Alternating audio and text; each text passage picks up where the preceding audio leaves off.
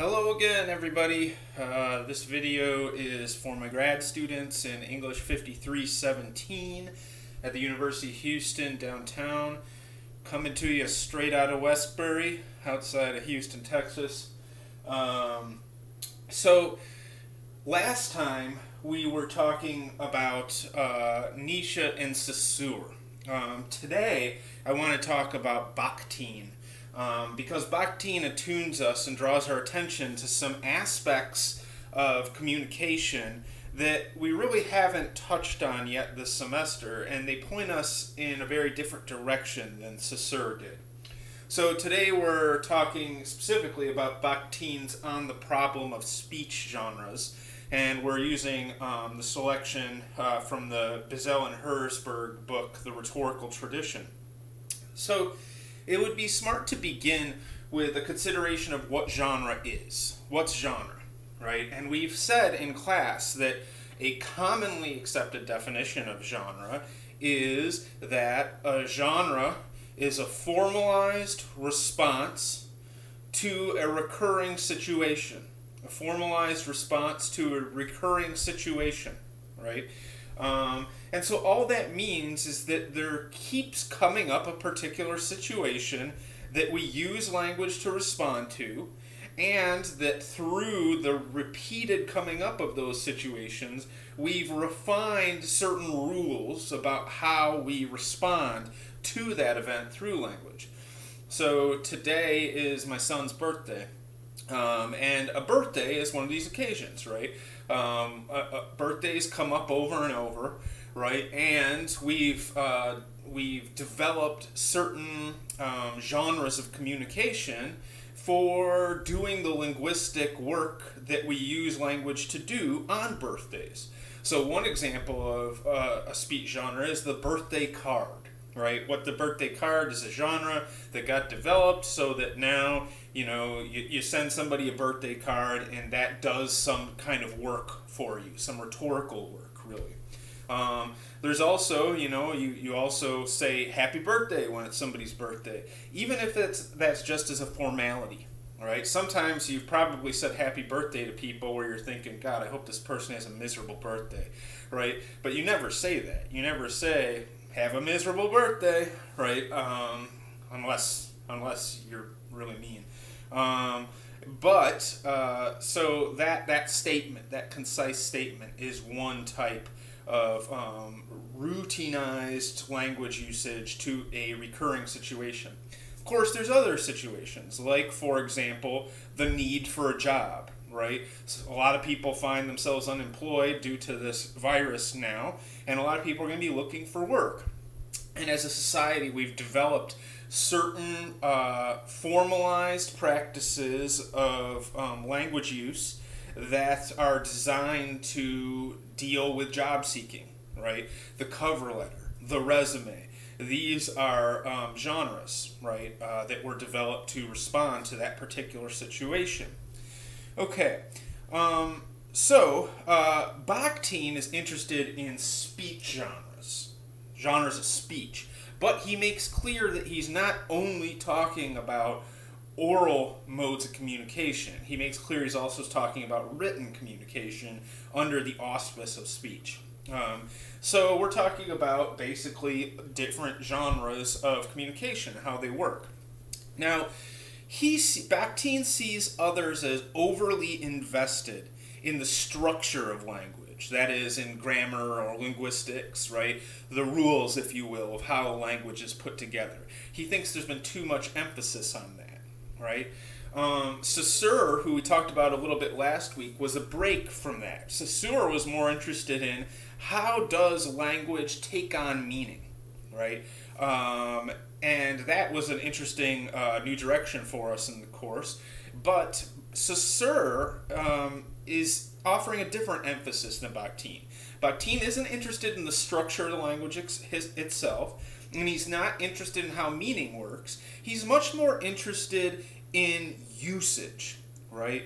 And in particular, he's interested in how language use um, has some socio-cultural ramifications. Um, and in other words, how does language use uh, uh, operate um, for communicative purposes, right? And if, it's worth thinking about, like, what do we mean by communication?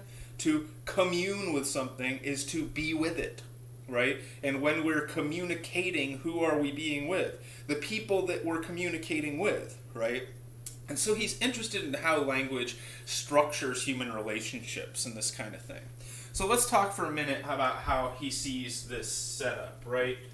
Um, yes, he says that there is this this formal um, formal structure of language, right? Uh, but within that language, right, in, in theory, in the English language, there are infinite numbers of what he would call utterances that could be made, right? There are infinite combinations of signs or words um, that could be used to make meaning. So, in other words, um, you know, we can't count how many different claims it's possible to render in English. Um, but he sees a number of different speech genres operating within language. And so there's a speech genre, here's a speech genre, and of course there's others, right? There's really, he says, it, it, early on in our reading, he says, it might seem like there's so many speech genres that it'd be impossible to systematically study them. And he gives some examples of speech genres right on um, the, the first page of our reading. He says, um, let's see, in fact, the category of speech genres should include short rejoinders of daily dialogue, and these are extremely varied depending on the subject matter, situation, and participants. Speech genres include everyday narration, writing in all of its various forms, brief standard military commands, elaborate and detailed orders, the fairly variegated repertoire of business documents, for the most part standardized, and the diverse world of commentary in the broad sense of the word social, political, and we must include here all diverse forms of scientific statements in all literary genres, from the proverb to the multi volume novel. It might seem that speech genres are so heterogeneous that they do not have and cannot have a single common level at which they can be studied. Uh, but of course, he goes on to, to show that they can. Now, within any particular speech genre, right, he looks and sees utterances, right? So within any possible speech genre, there are a number of possible utterances. And what he means by that is um, a single unit um, of a whole communication, okay? And we'll get to what we mean by that. But so if, if we think of a particular speech genre as an instruction manual, let's say, um, an instruction manual, it might come with a toy or with some new piece of technology, right? We recognize, I got one right here, hold on. This is the instruction manual for my digital 8 track, right, that I record some music on. It's 674 pages, right? And probably, um, you know, the interesting thing about the instruction manual is that whole swaths of this make no sense to me, right? I'll show you a page. Right? There, there's whole swaths of this book that I, I just don't know what they're talking about. But then the places that I do use, you notice I've made some notes in, right? Like, okay, remember, Adam, do all that stuff right there. Um, and you know, when I open this thing, I recognize that I've seen other texts like this before, other instruction manuals, right? Now, within the speech genre of the instruction manual, this is an utterance. Here's an utterance, right? It's one unified piece of communication um, that occupies this genre, okay? Um, so now he also says that there are primary and secondary genres, primary and secondary genres. And the primary genre seems to be, um, primary genres are sort of everyday genres of speech. Um, and, and so these include just, you know, chit chat, everyday dialogue, um, you know, non expert forms of communication. Okay? The secondary speech genre he points out, tends to be, um, you know, a a uh, particular genre that is designed for technical applications.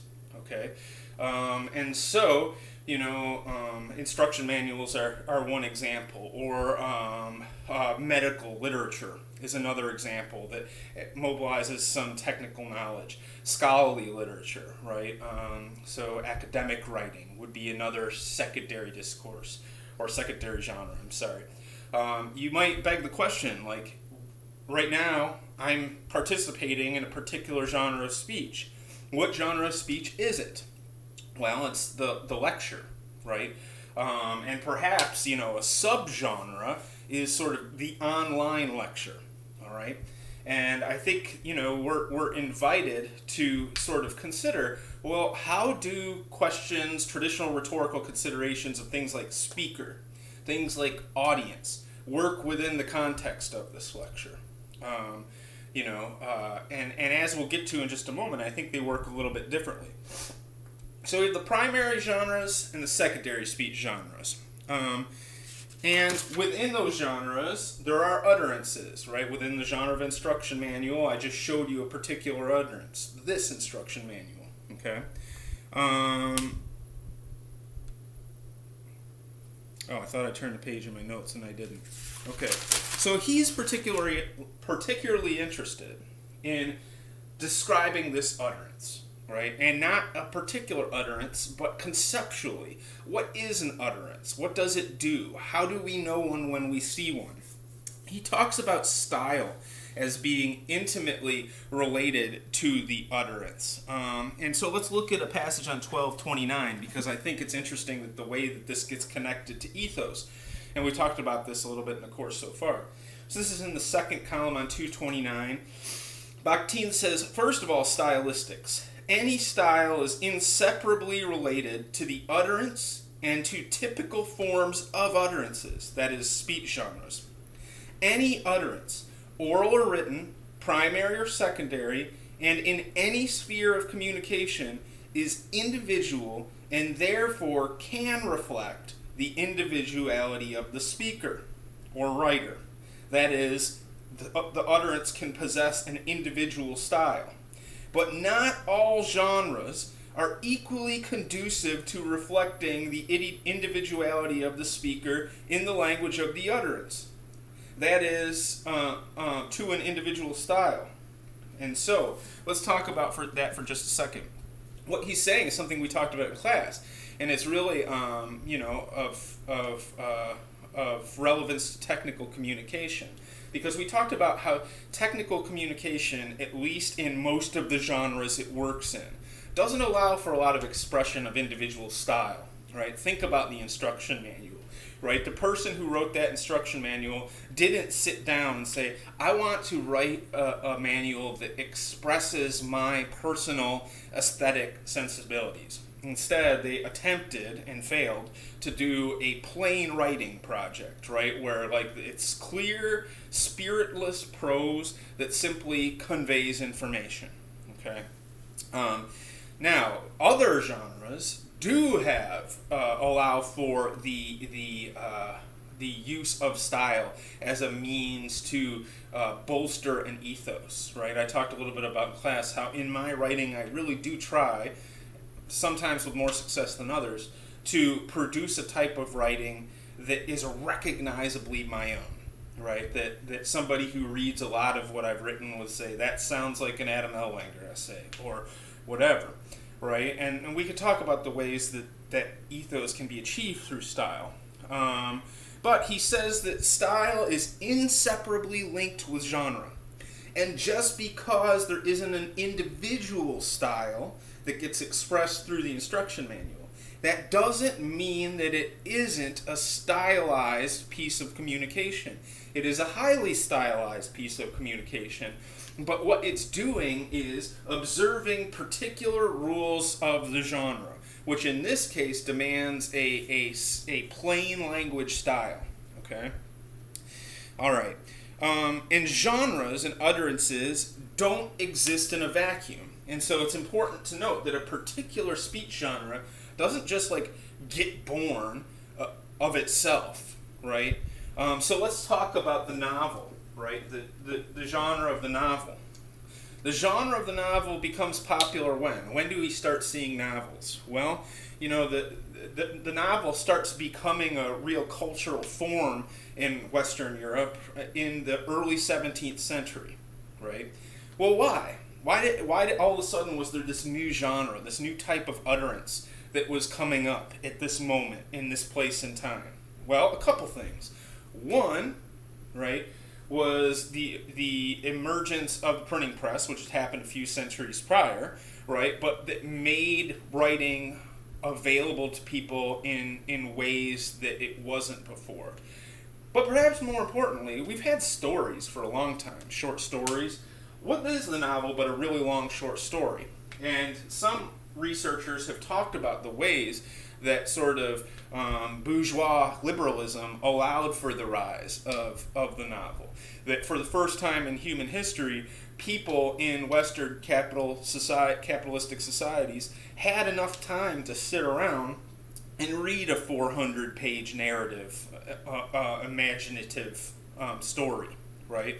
Um, and so, you know, also like the, the spread of literacy, the achievement of popular literacy um, in, in Europe, also pushed the novel as a popular form, right? As a form that is aimed at regular people, okay?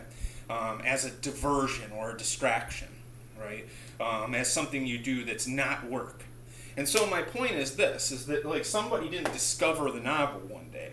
There were historical and cultural changes that prepared for the emergence of a form or genre like the novel. Okay, and Bakhtin talks about this a little bit on page. Um, let's see. It's on page 1230 and 1231 where he says, "Look, you have to understand that every utterance in every genre isn't an island." that language and the language uses in these places are fundamentally responsive. And what that means is, right, even what appears to be a freestanding statement is actually often a response to perhaps something that was said years ago, perhaps something that was unsaid but implied, right? Um, and so, for example, right, like if somebody had a really bad experience at, at, church as a child, right, when they're voicing their thoughts or opinions on religion, right, that experience from 40 years ago, right, might be might be um, shaping those comments that are made behind the scenes, right. Um, and so, in this way, this sort of problematizes agency and the intention of the speaker, right? And the speaker's status as such, right? If you're not so much in control of what you're speaking, but that rather what you say is a product of certain extrinsic experiential or historical phenomena, right? This troubles the traditional um, notion of the rhetor as this um, uh, intentional uh, communicator, okay? All right. So, speech genres and utterances are responsive, right? They're always responding to something. Um, and on 1233, Bakhtin says that any utterance is a link in a very complexly organized chain of utterances. Okay? And so again, he underscores that idea that no utterance uh, exists in isolation. That every utterance, the utterance I'm making now, even though it seems like I'm the originator of this lecture, right? This is actually a responsive statement to something else that was said to me or to external forces um, that are working on me, okay?